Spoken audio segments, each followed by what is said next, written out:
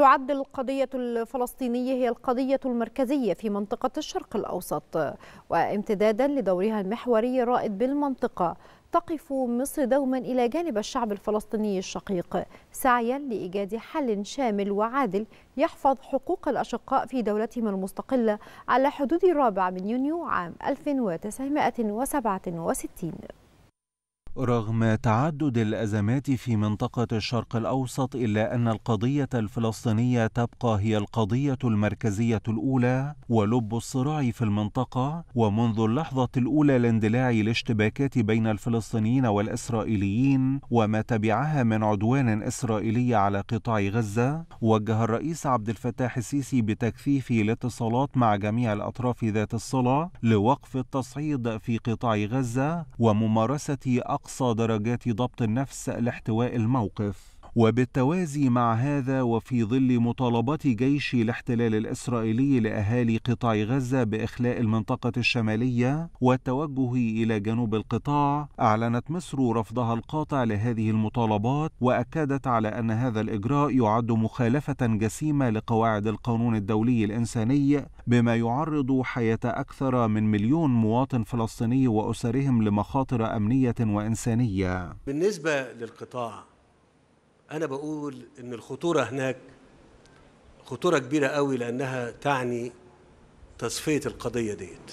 وفي تأكيد على موقفها الثابت من القضية الفلسطينية طالبت مصر الحكومة الإسرائيلية بالامتناع عن القيام بمثل تلك الخطوات التصعيدية لما سيكون لها من تبعات خطيرة كما طالبت مصر مجلس الأمن الدولي بالاطلاع بمسؤولياته لوقف هذا الإجراء. مصر التي تعد أكثر الدول وأهمها في الدفاع عن القضية الفلسطينية وحقوق الشعب الفلسطيني الشقيق ترى في الإجراء محاولة إسرائيلية يائسة لتصفية القضية من خلال تهجير الأشقاء في غزة للمرة الثانية لتعيد ما حدث بعد عام 1948 من تهجير للفلسطينيين من أراضيهم وبيوتهم. مهم قوي إن إحنا نبقى منتبهين لده. أنا قلت الأول الرقم والناس اللي موجودة واللي إحنا استقبلناهم. عندما كان الأمر يتعلق بمشاكل يعني أمنية في بلاد هذه هؤلاء الضيوف يعني. إنما الأمر هناك مختلف.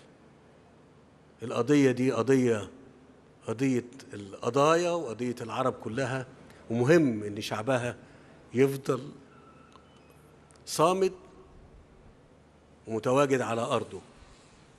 وإحنا هنبذل أقصى جهد عشان نخفف عنه. ووسط رفض مصري قاطع للإجراء الإسرائيلي غير القانوني تقف الدول العربية إلى جانب الموقف المصري بما يعكس مخاوف عربية عميقة الجذور من أن يؤدي الصراع الفلسطيني الإسرائيلي الراهن إلى موجة جديدة من التهجير وهو ما يؤكد أنه لا تفريط في القضية الفلسطينية أو حقوق الأشقاء ولا تهاون في أمن مصر القومي تحت أي ظرف.